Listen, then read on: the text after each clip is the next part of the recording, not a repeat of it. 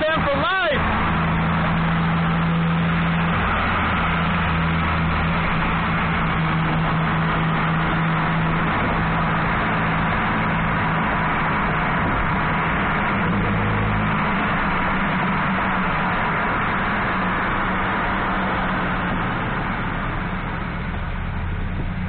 Is that that black coupe that was sitting there? No, it's a uh, Eclipse. Mine too.